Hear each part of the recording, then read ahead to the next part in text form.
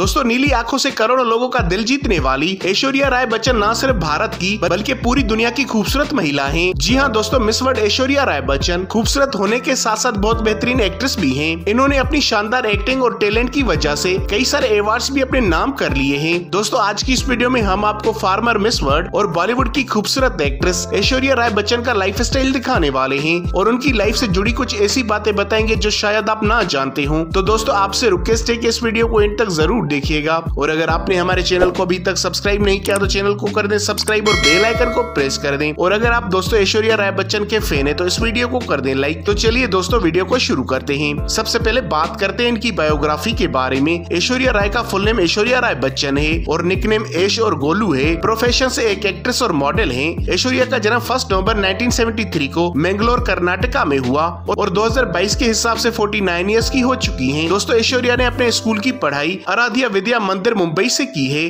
College की पढ़ाई जय हिंद कॉलेज मुंबई से की है। ऐश्वर्या राय एक बहुत ही ब्रिलियंट स्टूडेंट थी और वो हमेशा 90 से भी ज़्यादा मार्क्स लेती थी। ऐश्वर्या जब ट्वेल्थ स्टैंडर्ड में थी, तब उनकी इंग्लिश टीचर ने इन्हें एक मैगजीन के शूट के लिए कहा और वहीं से ऐश्वर्या ने मॉडलिंग करना स्टार्ट कर दिया। ऐश्वर्या ने एक इंटरव्यू में बताया था कि अगर वो एक्ट्रेस ना होती तो वो एक डॉक्टर होती। चलिए दोस्तों, अब बात करते हैं ऐश्वर्या राय बच्चन की फैमिली के बारे में। इनके पिता का नाम कृष्ण राय है, जो की एक आर्मी बायोलॉजिस्ट थे। इनकी मदर का नाम बृंदा राय है, जो कि एक होम मेकर है।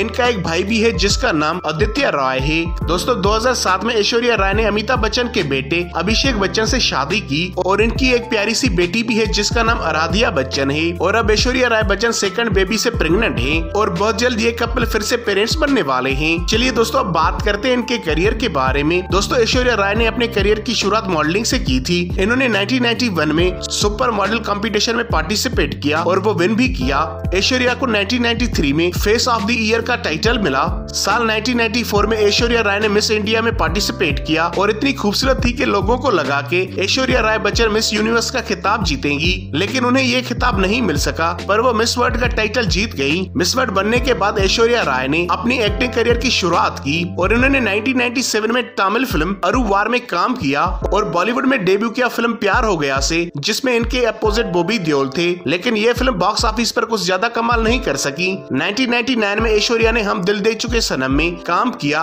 और ये फ़िल्म सुपरहिट साबित हुई। उसके बाद 2002 में ऐश्वर्या ने संजय नीला बंसाली की मूवी देवदास में काम किया और ये फ़िल्म बड़े पर्दे पर आते ही छा गई और ये फ़िल्म बॉलीवुड की हाईएस्ट रेटेड मूवीज़ में से एक है। इस फ़िल्म को बहुत सारे अवार्ड भी मिल चुके हैं। दोस्तों, इस फ़िल्म की वजह से ऐश्वर्या राय को बेस्ट एक्ट्रेस का अवार्ड भी मिल चुका है। 2008 में ऐश्वर्या राय ने ऋतिक रोशन के साथ फ़िल्म जोधा अकबर में काम किया और ऐश्वर्या ने कहा कि ये उनकी एक्टिंग करियर का सबसे चैलेंजिंग रोल था और इस मूवी को बॉक्स ऑफ़िस पर काफ़ी ज़्यादा रेटिंग मिली और इस मूवी ने बॉक्स ऑफ़िस पर 300 करोड़ से भी ज़्यादा का कलेक्शन किया था। दोस्तों, ऐश्वर्या राय ने बॉलीवुड के सभी हिट एक्टर के साथ काम किया है।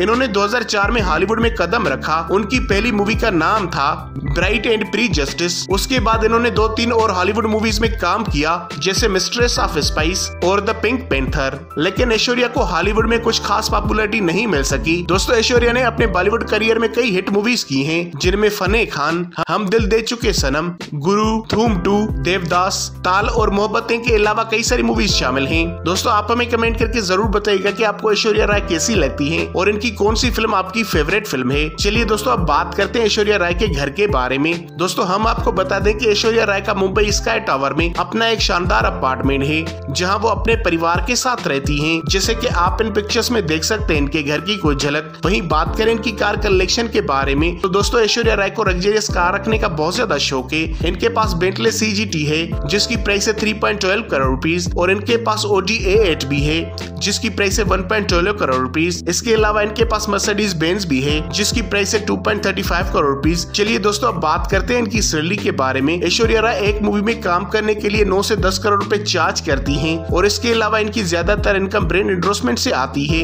जिनके वो तीन से चार करोड़ रूपए चार्ज करती है। वहीं बात करें इनके नेटवर्क के बारे में तो दोस्तों इनका नेटवर्क 300 करोड़ से भी ज़्यादा है। तो दोस्तों, ये थी ऐश्वर्या राय बच्चन की लाइफ स्टाइल वीडियो दोस्तों, अगर आप ऐश्वर्या राय बच्चन के फ़ैन है तो इस वीडियो को कर दें लाइक अगर आप इस चैनल पे नए तो चैनल को कर दें सब्सक्राइब और बेल आइकन को प्रेस कर दें, ताकि आपको हमारी आने वाली वीडियोस की नोटिफिकेशन मिले सबसे पहले। और आप हमें कमेंट करके ज़रूर बताएँ कि आप नेक्स्ट वीडियो कौन सी टॉपिक पे चाहते हैं।